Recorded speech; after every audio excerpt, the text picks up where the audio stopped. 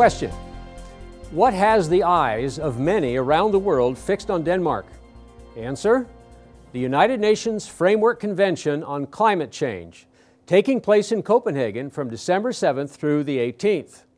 Also referred to as the Global Warming Conference, these meetings will be making plans for major changes in the lives of people in many nations. As the new president of the EU, Herman van Rompuy, stated in a speech reported by the BBC, 2009 is the first year of global governments with the establishment of the G20 in the middle of the financial crisis. And he continued, the climate conference in Copenhagen is another step toward global management of our planet. It's easy to see why skeptical American conservative reporters read global management of our planet as one world government and surrender of United States sovereignty. Furthermore, in late November, unnamed hackers collected thousands of emails and other documents from the Climate Research Unit at East Anglia University in the UK.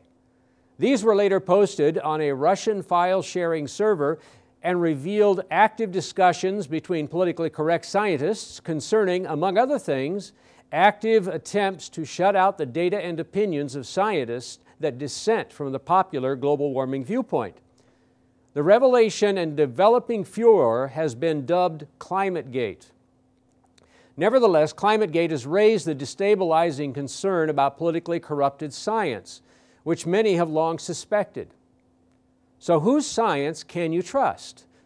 This specter is compounded by the supranational tone of the global management of our planet and the Global Warming Conference in Copenhagen. In the United States, chewing tobacco is often called snuff and one longtime brand is named after the host city of the Global Warming Conference. Recently, a commentator derisively described the Danish conference by summing up the dissenting view about global warming. Copenhagen is just snuff. Maybe? Time will tell.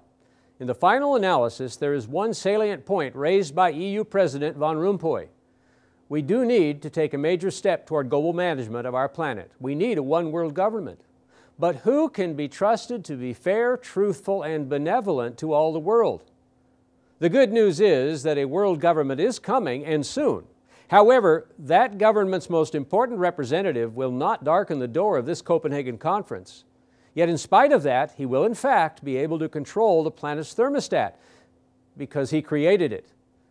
That leader will also bring about a far more important change spiritual climate change. You can learn more just read about the return of Jesus Christ. For GN Magazine, I'm Randy Stiver.